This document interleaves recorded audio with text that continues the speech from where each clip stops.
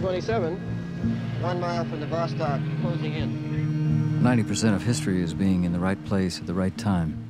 In Vancouver in 1971, we have the biggest concentration of tree huggers, draft dodgers, radical students, and back to the landers on the planet. And we are all haunted by the specter of a dead world. Bob just realized that if you want to do a protest, you have to make a story that would impact millions of people in every corner of the world.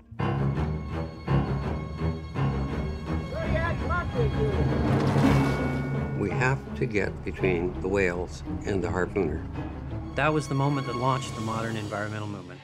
Well, now deep in my heart, baby, I know that you care. It wasn't really a lot of people, but boy, did we do a lot of things. What Bob said we could do, we did. Now we're looking at it going, oh boy, this is something. Suddenly we became celebrities. Groovy, man. The battle lines are drawn again between conservationists and Canadian government officials. It got bigger and bigger, and the bigger it got, the harder it was to keep cohesion together. The weakest link was always going to be ourselves.